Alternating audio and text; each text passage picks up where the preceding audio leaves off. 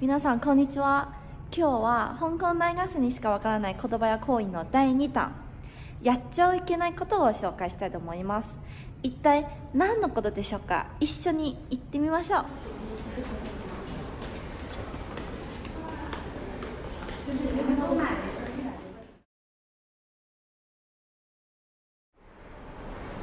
皆さん気づきましたか？私今 KK レオンビューティングの前に立っていて結構15分も経っていました気がするけれども誰一人もこの真ん中の扉に通ったことないんですよ。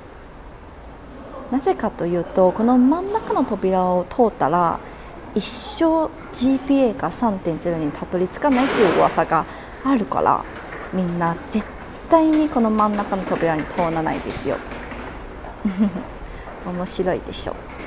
これは KK レオンビューティングを通るときやっちゃいけないことです。皆さんどうですか？これは KK レオンビューティングの噂です。今度香港大学に来た時ぜひこの KK レオンビューティングにもお越しください。